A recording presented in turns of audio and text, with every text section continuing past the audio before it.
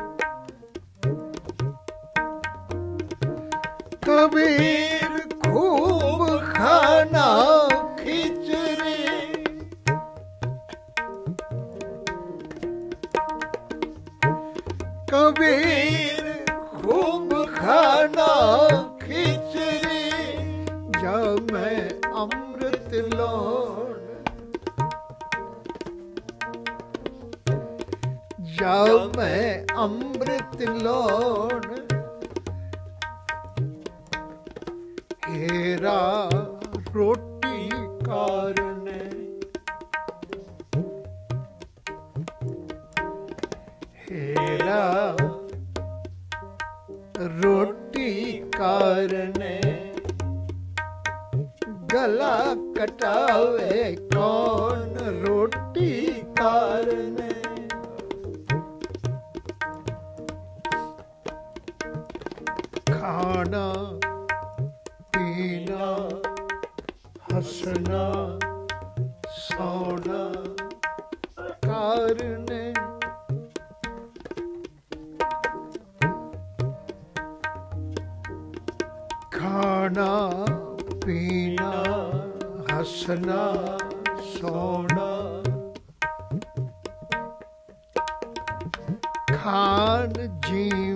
ਕੀ ਬੋਤੀ ਆਸ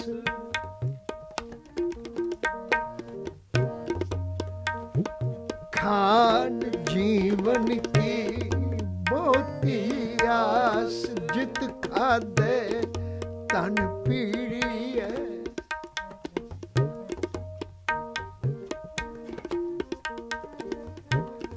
ਜਿਤ ਖਾਦੇ ਤਨ ਪੀੜੀ ਐ मन में चले विकार जित खादे खादा हो हे स्वाहा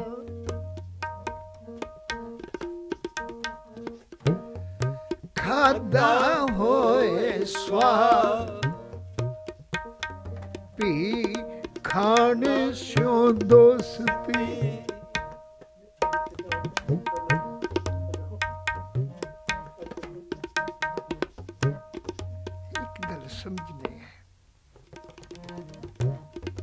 ਬਾਬਾ ਕਬੀਰ ਜੀ ਦੀ ਬਾਣੀ ਵਿੱਚ ਬੜੀ ਡੀਪਨੈਸ, ਬੜੀ ਡੂੰਘਾਈ ਹੈ। ਹਰ ਲਫ਼ਜ਼ ਦੇ ਓਲੇ ਕੁਝ ਸੱਚ ਛੁਪਿਆ ਹੋਇਆ ਹੈ। ਕੁਝ ਕਾਰਨ ਆ ਲਫ਼ਜ਼ ਕਾਰਨ ਕੀ ਹੈ? ਹੈ? ਰੋਟੀ ਕਾਰਨ ਹੈ?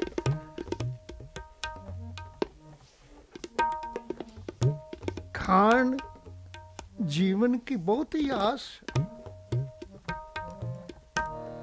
ਮਨੁੱਖ ਦੇ ਜੀਵਨ ਦਾ ਮਕਸਦ ਹੀ ਖਾਣ ਤੇ ਜੀਵਨ ਬਣ ਗਿਆ ਔਰ ਇਹੋ ਕਾਰਨ ਜੇ ਛੁਪੀ ਹੋਈ ਗੱਲ ਨਹੀਂ। ਅੱਜ ਤੁਸੀਂ ਮਾਰਕੀਟ ਵਿੱਚ ਚਲੇ ਜਾਓ ਤੇ ਜਿਹੜੇ ਬਜ਼ੁਰਗਾਂ ਨੇ ਪਹਿਲਾ ਸਮਾਂ ਦੇਖਿਆ ਬੜੀ ਆਸਾਨੀ ਨਾਲ ਲਫ਼ਜ਼ ਦੀ ਇਸ ਗੱਲ ਨੂੰ ਸਮਝ ਸਕਦੇ ਨੇ ਕਿ ਖਾਣ ਜੀਵਨ ਕੀ ਬਹੁਤ ਹੀ ਆਸ, ਬਸ ਦੋ ਹੀ ਚੀਜ਼ਾਂ ਰਹਿ ਗਈਆਂ। ਇਹੋ ਕਾਰਨ ਹੈ।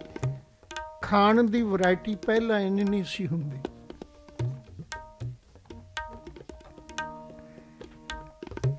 ਪਹਿਲਾਂ ਕਦੀ ਪੁਰਾਤਨ ਸਮੇਂ ਅੰਦਰ ਜਿਨ੍ਹਾਂ ਨੇ ਦੇਖਿਆ ਬਹੁਤੀ ਵੈਰਾਈਟੀ ਨਹੀਂ ਸੀ ਹੁੰਦੀ।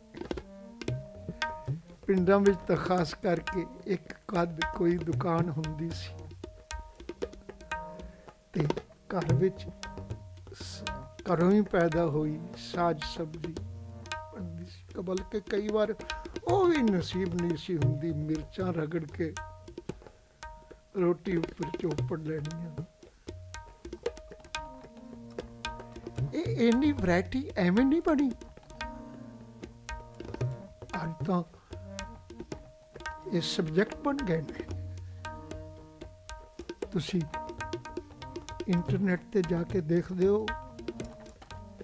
ਅਨੇਕਾਂ ਪ੍ਰੋਗਰਾਮ ਇਸ ਗੱਲ ਤੇ ਚੱਲ ਰਹੇ ਨੇ ਕਿ ਨਵੀਆਂ ਰੈਸਪੀਆਂ ਕੀ ਖਾਣ ਦੀ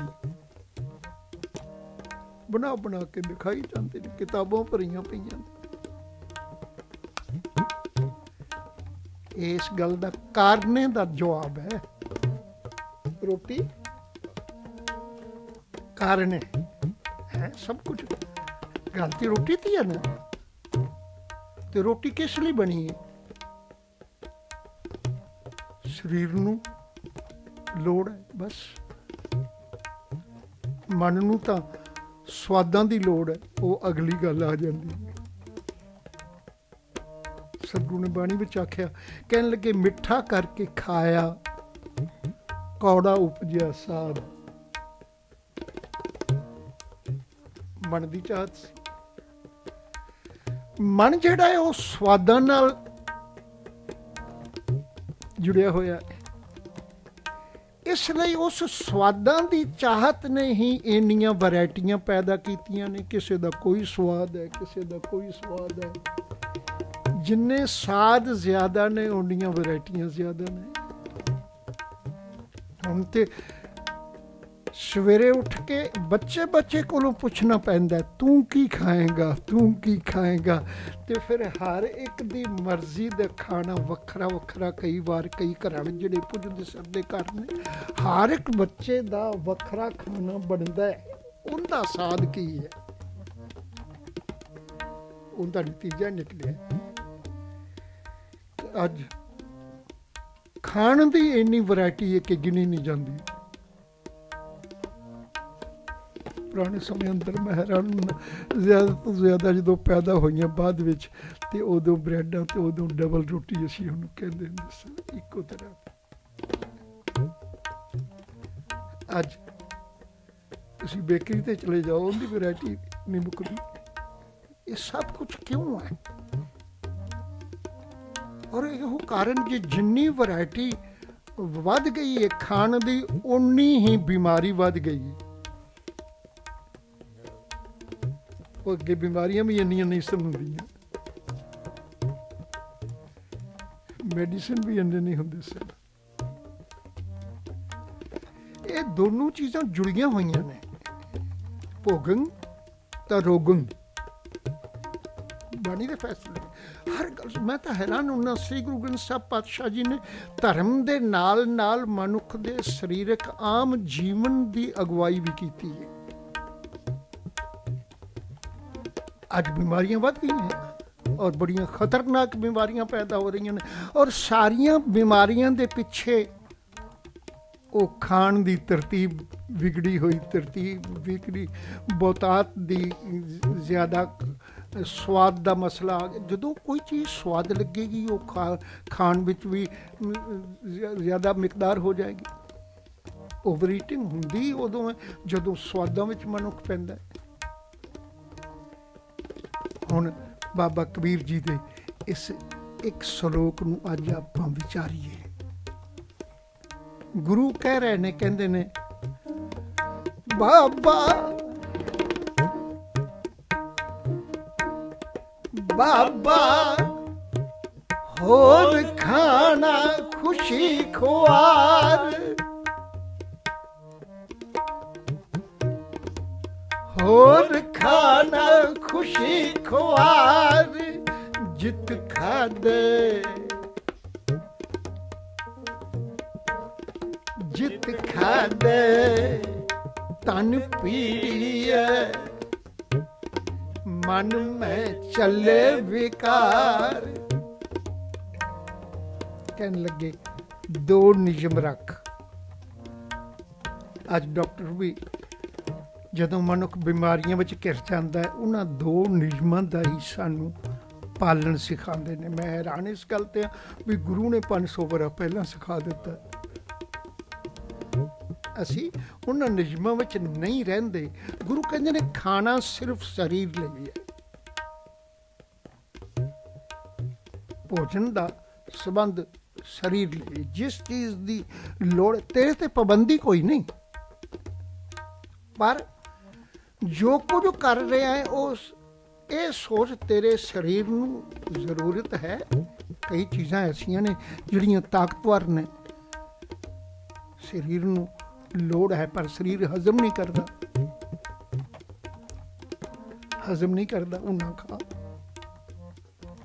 ਪਾਬੰਦੀ ਨਹੀਂ ਕਿ ਆ ਖਾ, ਆ ਨਾ। ਇਸ ਲਈ ਲਫ਼ਜ਼ ਜਿੱਤ ਵਰਤ ਦਿੱਤਾ। ਜਿਸ ਚੀਜ਼ ਨਾਲ ਵੀ। ਹੁਣ ਉਹਦੇ ਚ ਦੋ ਨਿਸ਼ਮਸਾਂ ਜ਼ਿਆਦਾ ਵੀ ਨਾ ਖਾ। ਕਿਉਂਕਿ ਸਾਧ ਵਿੱਚ ਹੀ ਮਨੁੱਖ ਜ਼ਿਆਦਾ ਖਾਂਦਾ ਹੈ ਨਾ। ਸਾਦ ਵਿੱਚ ਹੀ ਉਹ ਤਰ੍ਹਾਂ ਤਰ੍ਹਾਂ ਦੇ ਭੋਜਨ ਬਣਾਉਂਦਾ ਗੁਰੂ ਕਹਿੰਦੇ ਨੇ, ਮੈਂ ਤੈਨੂੰ ਇਹ ਨਹੀਂ ਕਹਿੰਦਾ ਕਿ ਆ ਖਾ, ਆ ਨਾ ਖਾ, ਪਰ ਦੋ ਚੀਜ਼ਾਂ ਦਾ ਖਿਆਲ ਰੱਖ। ਇੱਕ ਤਾਂ ਸਾਦਾ ਖਾ, ਦੂਜਾ ਘੱਟ ਖਾ। ਇਹ ਗੱਲ ਵੀ ਬਾਣੀ ਵਿੱਚ ਆ ਗਈ। ਮੈਂ ਹੈਰਾਨ ਹੁੰਨਾ, ਗੁਰੂ ਨਾਨਕ ਪਾਤਸ਼ਾਹ ਜੀ ਦੇ ਸ਼ਬਦ ਹੈ। ਹੁਣ ਸਿੱਧ ਗੋਸ਼ਟ ਗੁਰੂ ਨਾਨਕ ਦੀ ਬਾਣੀ ਸਿੱਧ ਗੋਸ਼ਟ ਵਿੱਚ ਸਿੱਧਾਂ ਦਾ ਇੱਕ ਸਵਾਲ ਤੇ ਗੁਰੂ ਨਾਨਕ ਦਾ ਇੱਕ ਜਵਾਬ ਅਸੀਂ ਬੜੇ ਧਿਆਨ ਨਾਲ ਸਮਝਣਾ ਲੋਰੀਪਾ ਇੱਕ ਸਿੱਧ ਹੈ, ਗੋਰਖਨਾਥ ਦਾ ਚੇਲਾ ਹੈ, ਉਹਨੂੰ ਪੁੱਤਰ ਵੀ ਗੋਰਖਨਾਥ ਦਾ ਮੰਨਦੇ ਨੇ। ਗੁਰਬਾਣੀ ਵਿੱਚ ਵੀ ਆ ਰਿਹਾ, ਗੋਰਖ ਪੁੱਤ ਲੋਰੀ ਬੋਲੇ ਗੋਰਖਨਾਥ। ਲੋਰੀਪਾ ਇੱਕ ਸਵਾਲ ਕਰਦਾ ਹੈ, ਕਹਿੰਦਾ ਜੀ, ਖਾਣ ਦੇ ਸੰਬੰਧ ਵਿੱਚ ਮੇਰਾ ਇਹ ਖਿਆਲ ਹੈ ਕਿਉਂਕਿ ਅਸੀਂ ਜੋਗੀ ਜੇ ਘਰ-ਬਾਰ ਦੇ ਚਸਕੇ ਸਾਧ ਛੱਡ ਕੇ ਜੰਗਲਾਂ ਵਿੱਚ ਆਏ ਆ ਤੇ ਇਸ ਲਈ ਆਏ ਆ ਕਿ ਕੰਦ ਮੂਲ ਆਹਾਰੋ ਕਹੀਏ ਖਾਈਏ ਸ਼ਬਦ ਹੈ, ਸਿੱਧ ਗੋਸ਼ਟ ਦਾ। ਸਵਾਲ ਕਰਦਾ ਕੰਦ ਮੂਲ ਆਹਾਰੋ ਖਾਈਏ ਉਦੋਂ ਬੋਲੇ ਗਿਆਨੇ। ਉਹ ਗਿਆਨ ਦੀਆਂ ਗੱਲਾਂ ਜਿਹੜੀਆਂ ਸਰੀਰ ਨਾਲ ਵੀ ਸੰਬੰਧਿਤ ਨੇ, ਕਿਉਂਕਿ ਸਰੀਰ ਉਹ ਹੀ ਨਹੀਂ, ਸਿਰਫ ਮਾਲਾ ਪਰਨੀ ਕਰਨੀ ਸਿਖਾ, ਭਗਤੀ ਉਹ ਹੀ ਨਹੀਂ ਜਿਹੜੀ ਮਾਲਾ ਫੜ ਕੇ ਭਗਤੀ ਕਰਨੀ ਸਿਖਾਵੇ। ਧਰਮ ਤੇ ਤੁਹਾਨੂੰ ਸਰੀਰਕ ਜੀਵਨ ਜਿਉਣਾ ਸਿਖਾਉਂਦਾ ਹੈ। ਕਿਉਂਕਿ ਤੂੰ ਆਏ, ਧਰਮ ਦੀ ਲੋੜ ਵੀ ਇੱਥੇ ਪਈ ਤੇ ਇੱਥੇ ਸਰੀਰ ਕਰਕੇ ਆਇਆ। ਤੇ ਧਰਮ ਦਾ ਹਰ ਪਹਿਲੂ ਜਿਹੜਾ ਉਹਦੇ ਵਿੱਚ ਸਰੀਰ ਵੀ ਹੈ। ਇੱਕ ਵੱਖਰਾ ਵਿਸ਼ਾ ਹੈ। ਮੇਰੇ ਖਿਆਲ ਸਿੰਘ ਉੱਤੇ ਮੈਂ ਇਸ ਵਾਰ ਤੋਂ ਸ਼ੁਰੂ ਕਰ ਰਿਹਾ। ਉਹਦੇ ਤੇ ਵੀ ਕਈ ਪ੍ਰੋਗਰਾਮ ਹੋਣਗੇ। ਉਹਦੇ ਵਿੱਚ ਧਰਮ ਲਫ਼ਜ਼ ਵੀ ਹੈ। ਹੁਣ ਗੁਰੂ ਧਰਮ ਵਿੱਚ ਇਹ ਵੀ ਸਿਖਾ ਰਹੇ ਨੇ ਉਹ ਗਿਆਨ ਦੀ ਗੱਲ ਕਰਦਾ ਹੈ, ਲੋਰੀਪਾ ਤੇ ਉਹ ਕਹਿੰਦਾ ਹੈ, ਮੈਨੂੰ ਇਹ ਗਿਆਨ ਹੋਇਆ ਹੈ। ਮੇਰਾ ਇਹ ਤਜਰਬਾ ਹੈ ਕਿ ਕੰਦ ਮੂਲ ਆਹਾਰੋ ਖਾਈਏ ਇੰਨਾ ਸਾਦਾ ਖਾਈਏ ਕਿ ਜੰਗਲਾਂ ਵਿੱਚ ਰਹਿ ਕੇ ਇੱਥੇ ਇਸ ਲਈ ਅਸੀਂ ਆ ਗਏ ਹਾਂ, ਇੱਥੇ ਕੋਈ ਵੈਰਾਈਟੀ ਨਹੀਂ, ਇੱਥੇ ਕੋਈ ਬਣਾਉਂਦਾ ਨਹੀਂ, ਇੱਥੇ ਇੱਥੇ ਕੰਦ ਮੂਲ ਹੀ ਜੜੀਆਂ ਬੂਟੀਆਂ ਹੀ ਖਾਣੀਆਂ ਪੈਂਦੀਆਂ ਨੇ। ਗਾਜਰ, ਮੂਲੀ, ਜਿਹੜਾ ਕੰਦ ਮੂਲ ਮੰਨਿਆ ਜਾਂਦਾ ਹੈ, ਜਿਹੜਾ ਧਰਤੀ ਦੀ ਤਹਿ ਵਿੱਚ ਪੈਦਾ ਹੁੰਦਾ ਹੈ। ਧਰਤੀ ਦੀ ਤਹਿ ਵਿੱਚ ਮੂਲੀ ਹੁੰਦੀ ਹੈ, ਗਾਜਰ ਹੁੰਦੀ ਹੈ, ਚਿਕੰਦਰ ਹੁੰਦਾ ਹੈ, ਗੋਂਗਲੂ ਹੁੰਦਾ ਹੈ। ਯਾਨੀ ਕਿ ਇਹ ਚੀਜ਼ਾਂ ਸਾਰੀਆਂ ਇਹਨਾਂ ਨੂੰ ਕੰਦ ਮੂਲ ਵਿੱਚ ਆਖਦੇ ਨੇ। ਤੇ ਜੋਗੀ ਲੋਰੀਪਾ ਕਹਿੰਦਾ ਹੈ, ਕੰਦ ਮੂਲ ਆਹਾਰੋ ਖਾਈ ਹੈ। ਆਹਾਰ ਵਿੱਚ, ਆਪਣੇ ਭੋਜਨ ਵਿੱਚ ਇਹ ਚੀਜ਼ਾਂ ਖਾਣੀਆਂ ਚਾਹੀਦੀਆਂ ਨੇ, ਮੇਰਾ ਇਹ ਤਜਰਬਾ ਹੈ। ਹੁਣ ਗੁਰੂ ਨਾਨਕ ਉਸੇ ਹੀ ਸ਼ਲੋਕ ਵਿੱਚ ਅੱਗੇ ਜਾ ਕੇ ਜਵਾਬ ਦਿੰਦੇ ਨੇ। ਇਸੇ ਦਾ ਨਾਂ ਸਿੱਧ ਗੋਸਟ। ਤੇ ਜਵਾਬ ਦਿੰਦੇ ਕਹਿੰਦੇ, ਨਹੀਂ ਜੋਗੀ, ਮੈਂ ਇਹ ਨਹੀਂ ਕਹਿੰਦਾ ਕਿ ਆ ਖਾ ਆ ਨਾ ਖਾ, ਸਿਰਫ ਕੰਦ ਮੂਲ ਹੀ ਖਾ। ਹੁਣ ਦੇਖੋ ਗੁਰਬਾਣੀ ਕਿੱਡੀ ਸੋਝੀ ਨਾਲ ਹਰ ਗੱਲ ਨੂੰ ਅਸੀਂ ਧਿਆਨ ਨਾਲ ਵਿਚਾਰਾਂਗੇ, ਤਾਂ ਹੀ ਸਾਨੂੰ ਕੁਝ ਮਿਲੇਗਾ। ਗੁਰੂ ਨਾਨਕ ਕਹਿੰਦੇ ਨੇ, ਮੈਂ ਤੈਨੂੰ ਇਹ ਨਹੀਂ ਕਹਿੰਦਾ, ਤੂੰ ਆ ਖਾ ਆ ਨਾ ਖਾ। ਕੰਦ ਹੀ ਖਾ। ਜੋ ਮਰਜ਼ੀ ਖਾ, ਪਰ ਘੱਟ ਖਾ। ਥੋੜਾ ਖਾ। ਡਾਕਟਰ ਵੀ ਕਹਿੰਦੇ ਨੇ। ਅੱਜ 500 ਬਰੇ ਬਾਅਦ ਕਹਿੰਦੇ ਤੇ ਗੁਰੂ ਨਾਨਕ ਨੇ ਲੋਰੀਪੇ ਦੇ ਉਸ ਸਵਾਲ ਦਾ ਜਵਾਬ ਦਿੱਤਾ ਹੈ। ਕਹਿੰਦੇ ਨੇ, ਨਹੀਂ, ਮੇਰਾ ਵਿਚਾਰ ਇਹ ਹੈ ਕਿ ਖੰਡਿਤ ਨਿੰਦਰਾ ਭਾਵ ਥੋੜਾ ਸੋਣਾ। ਅਲਪ ਆਹਾਰੰ ਥੋੜਾ ਖਾਣਾ। ਭਾਈ ਗੁਰਦਾਸ ਜੀ ਨੇ ਵੀ ਇਹੋ ਗੱਲ ਆਖੀ। ਕਹਿਣ ਲੱਗੇ, ਭਾਈ ਗੁਰਦਾਸ ਜੀ ਦੇ ਲਫ਼ਜ਼ ਨੇ ਥੋੜਾ ਸਮੇਂ ਹੋਂ ਤਿਸ ਕੋਲ ਕੁਮਾਇਆ ਗੁਰਮਤਿ ਦੇ ਗਰੀਬੀ ਆਵੇ, ਅੱਗੇ ਜਾ ਕੇ ਇਹ ਲਫ਼ਜ਼ ਕਹਿੰਦੇ ਨੇ, ਹੋਂ ਤਿਸ ਕੋਲ ਕੁਮਾਇਆ ਥੋੜਾ ਸਮੇਂ ਥੋੜਾ ਹੀ ਖਾਵੇ। ਨੀਂਦ ਵੀ ਲੰਬੀ ਨਾ ਹੋਵੇ, ਵੀ ਸੁੱਤਾ ਹੀ ਰਵੇ। ਕਿਉਂਕਿ ਹਜ਼ਮ ਤਾਂ ਸਰੀਰ ਨੇ ਆਖਰ ਜਾਗ ਕੇ ਹੀ ਕਰਨਾ ਹੈ। ਕੁਝ ਕਰੇਗਾ ਤਾਂ ਹੀ ਹੋਏਗਾ। ਦੋ ਚੀਜ਼ਾਂ ਬਿਮਾਰੀਆਂ ਤੇਰੇ ਵਿੱਚ ਪੈਦਾ ਕਰ ਰਹੀਆਂ ਨੇ। ਇੱਕ ਤਾਂ ਤੂੰ ਜ਼ਿਆਦਾ ਆਰਾਮ ਪ੍ਰਸਤ ਹੋ ਜਾਏ। ਕਰੇ ਕੁਝ ਨਾ। ਕਰੇ ਕੁਝ ਦਾ ਜਿਹੜਾ ਸਵਾਲ ਹੈ, ਇਹ ਜੁੜਦਾ ਕਿਰਤ ਨਾਲ ਵੀ। ਕਿਰਤ ਵੀ ਉਦਮ ਕਰਿੰਦੇ ਆ ਜੀਉ ਤੂੰ ਕਮਾਉਂਦੇ ਆ ਸੁਖ ਪੁੰਜ ਕਿਹੜੀਆਂ ਕਿਹੜੀਆਂ ਚੀਜ਼ਾਂ ਦਾ ਸੰਬੰਧ ਹੈ ਬਾਣੀ ਦੇ ਰਾਹੀਂ ਜਿਹੜਾ ਸਾਡੇ ਜੀਵਨ ਨਾਲ ਸੰਬੰਧ ਨਹੀਂ ਰੱਖਦਾ? ਕਹਿੰਦੇ ਜਦੋਂ ਤੂੰ ਆਰਾਮ ਪ੍ਰਸਤ ਜ਼ਿਆਦਾ ਸੌਵੇਂਗਾ, ਤਦ ਵੀ ਬਿਮਾਰੀਆਂ ਪੈਦਾ ਹੋਣਗੀਆਂ।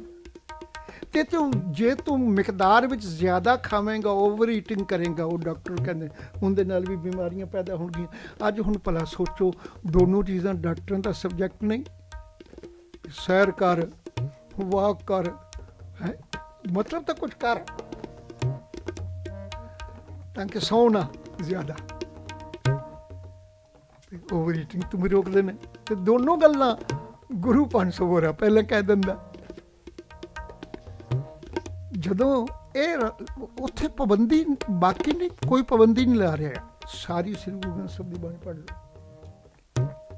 ਹਾਲਾਂਕਿ ਬਾਬਾ ਕਬੀਰ ਜਿਹੜੇ ਨੇ, ਉਹ ਵੈਸ਼ਨਵ ਸਾਧ ਨੇ।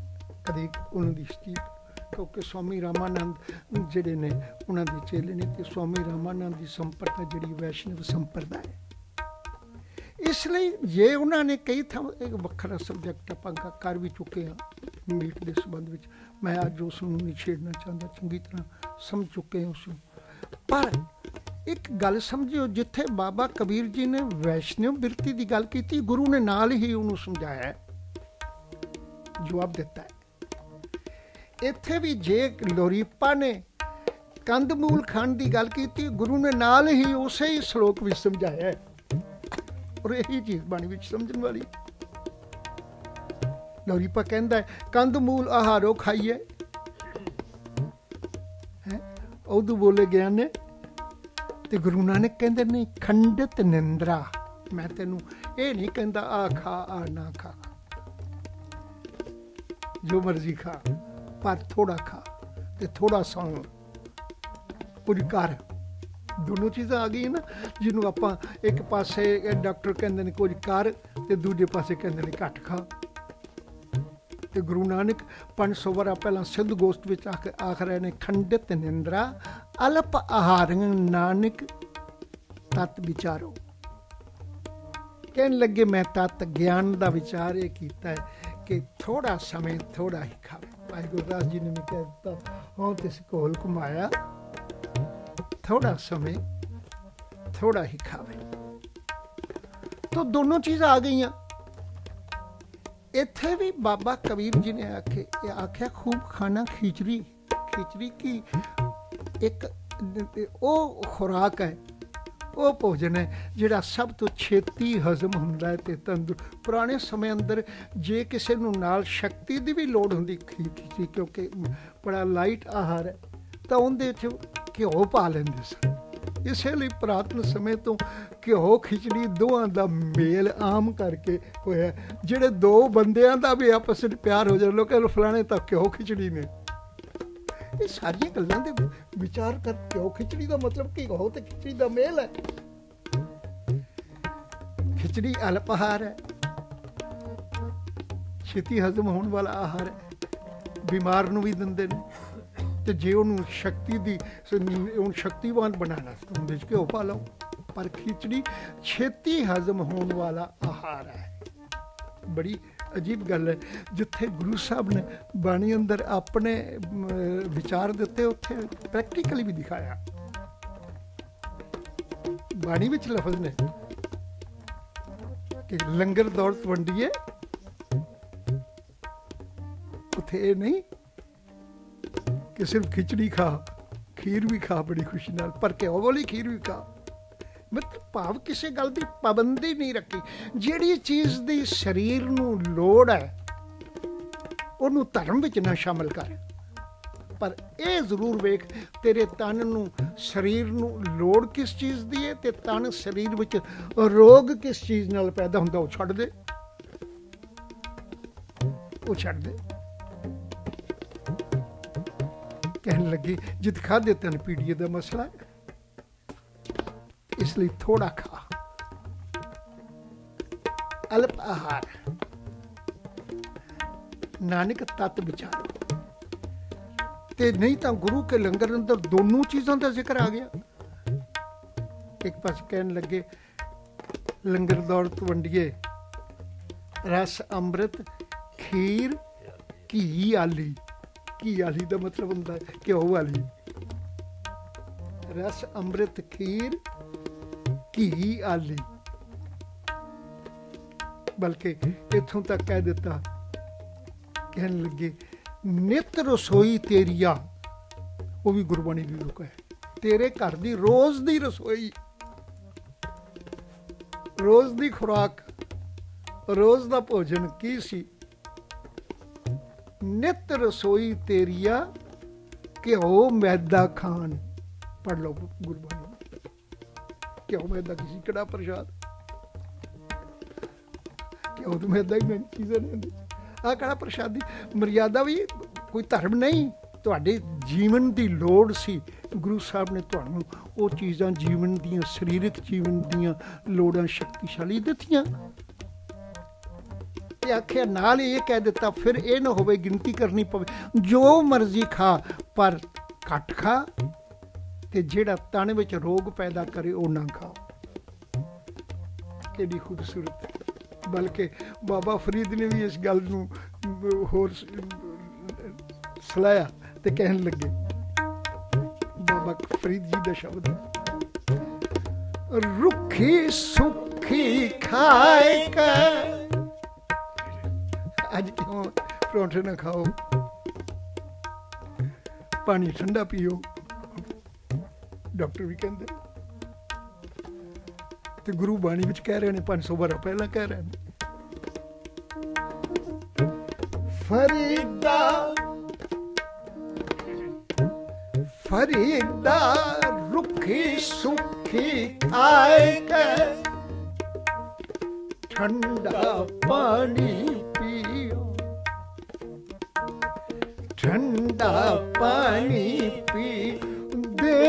ਪਰਾਈ ਚੋਪੜੀ। ਦੇਖਾ, ਦੇਖੀ, ਕਿਸੇ ਵੱਲ ਵੇਖ ਕੇ ਵੀ ਉਹ ਹਜ਼ਮ ਕਰ ਜਾਂਦਾ। ਮੈਂ ਵੀ ਕਰ ਲਵਾਂਗਾ।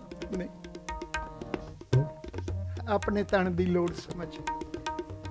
ਪਾਬੰਦੀ ਕਿਸੇ ਵਸਤੂ ਦੀ ਗੁਰੂ ਨੇ ਨਹੀਂ ਰੱਖੀ। ਸਿਰਫ ਰੱਖੀ ਹੈ ਥੋੜਾ ਸਮੇਂ। ਥੋੜਾ ਕਿਉਂਕਿ ਖਾਣ ਭੋਜਨ ਨੂੰ ਧਰਮ ਦਾ ਹਿੱਸਾ ਨਹੀਂ ਬਣਾਣਾ ਇਹ ਤੁਹਾਡੇ ਸਰੀਰ ਦੀ ਲੋੜ ਦਾ ਹਿੱਸਾ ਹੈ। ਤੇ ਜਿਸ ਚੀਜ਼ ਨਾਲ ਸਰੀਰ ਵਿੱਚ ਰੋਗ ਪੈਦਾ ਹੋਣ, ਜਿਤ ਖਾਦੇ ਤਨ ਪੀੜੀ ਬਸ ਇੱਥੇ ਖੜਾ ਕਰ ਦਿੱਤਾ। ਜਿਤ ਖਾਦੇ ਤਨ ਪੀੜੀ ਹੈ, ਕਿਤੇ ਐਸਾ ਨਾ ਹੋਵੇ ਰੋਟੀ ਦੇ ਸਵਾਦ ਲਈ ਹੀ ਤੂੰ ਮੀਟ ਮਾਸ ਖਾਂਦਾ ਹੋਵੇਂ। ਲੋੜ ਨਾਲ, ਤੈਨੂੰ ਮਨਾ ਹੀ ਕੋਈ ਨਹੀਂ, ਪਰ ਤਨ ਦੀ ਲੋੜ ਹੋਵੇ, ਸਿਰਫ ਸਵਾਦ ਨਾ ਹੋਵੇ, ਸਾਧ ਲਈ ਨਹੀਂ, ਇਸੇ ਲਈ ਬਾਬਾ ਕਬੀਰ ਜੀ ਨੇ ਦੋ ਲਾਈਨਾਂ ਵਿੱਚ ਇੱਕ ਖਾਣ ਦਾ, ਭੋਜਨ ਦਾ ਸਾਧਨ ਦੇ ਦਿੱਤਾ ਤੇ ਕਹਿਣ ਲੱਗੇ, ਖੂਬ ਖੂਬ। ਐਗਜ਼ਾਮਪਲ ਇੱਕ ਨਹੀਂ ਦਿੱਤੇ। ਕਹਿਣ ਲੱਗੇ, ਜੇ ਤੂੰ ਇਸ ਨੂੰ ਕਿਸੇ ਭੁਲੇਖੇ ਵਿੱਚ ਪਾ ਕੇ ਧਰਮ ਦਾ ਹਿੱਸਾ ਬਣਾਏ ਤੇ ਆਖੇ ਵੀ ਮਾਸ ਇਸ ਲਈ ਨਹੀਂ ਖਾਣਾ ਕਿਉਂਕਿ ਧਰਮੀ ਰਹਿ ਸਕਦਾ। ਤੇ ਗੁਰੂ ਨੇ ਬਾਣੀ ਵਿੱਚ ਕਹਿਤਾ ਕਹਿਣ ਲੱਗੇ, ਗੈਂਡਾ ਮਾਰ, ਹੋਮ ਜਗ ਕੀ ਹੈ ਤੇਰੇ ਤਾਂ ਕੋਈ ਧਰਮ ਕਰਮ ਜਿਹੜਾ ਤੇਰੇ ਦੇਵੀ ਦੇਵਤੇ ਖੁਸ਼ੀ ਨਹੀਂ ਹੁੰਦੇ, ਜਿੰਨੀ ਦੇਰ ਮਾਸ ਨੂੰ ਤੂੰ ਬਲੀ ਬਲੀ ਦੇ ਰੂਪ ਵਿੱਚ ਉਹਨਾਂ ਨੂੰ ਨਾ ਦੇਵੇਂ। ਗੈਂਡਾ ਮਾਰ, ਹੋਮ ਜਗ ਕੀ ਦੇਵਤਿਆਂ ਕੀ ਬਾਣਾ ਹੈ? ਉਹਦੀ, ਉਹਨਾਂ ਦੀ ਵੀ ਆਦਤ ਹੈ।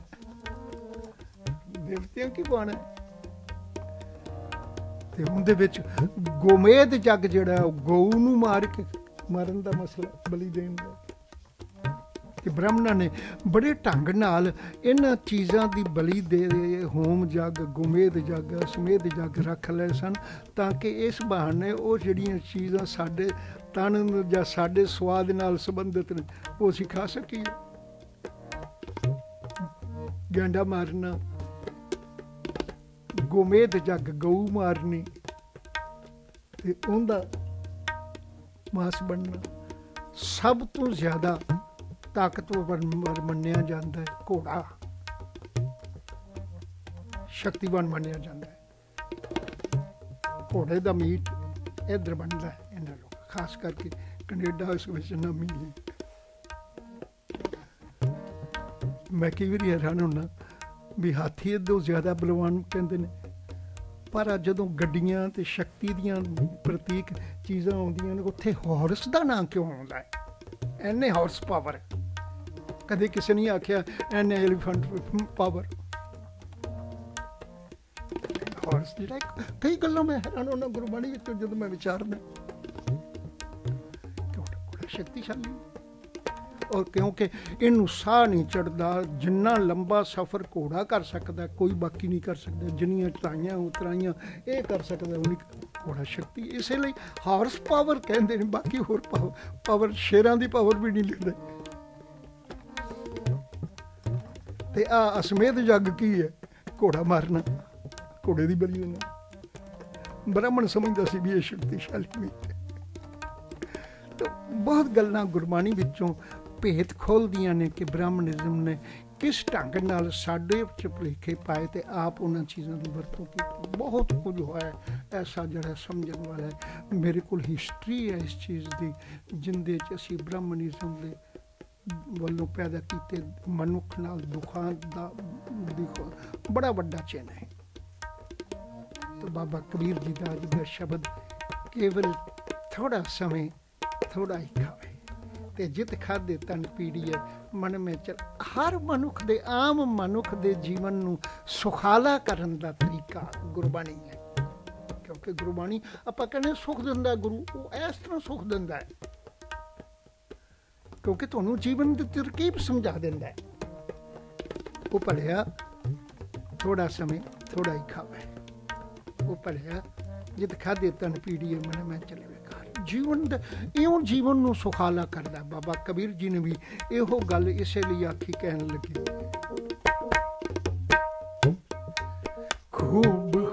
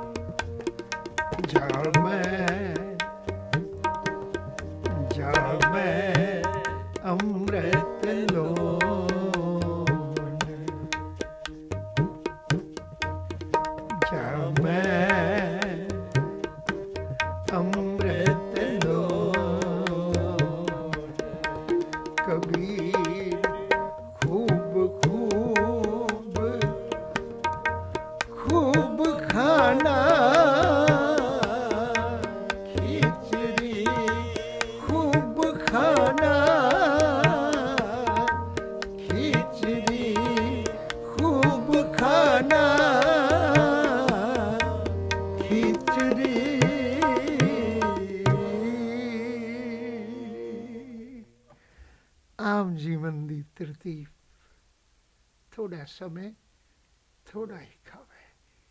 ਤੇ ਉਹ ਚੀਜ਼ ਖਾਏ ਜਿਹੜੀ ਤਨ ਨੂੰ ਰੋਗ ਪੈਦਾ ਕਰਕੇ ਪੀੜੇ ਨਾ।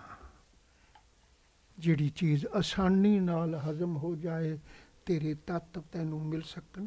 ਸਰੀਰਕ ਅਵਸਥਾ ਵੀ ਸਮਝਾ ਰਹੇ ਨੇ।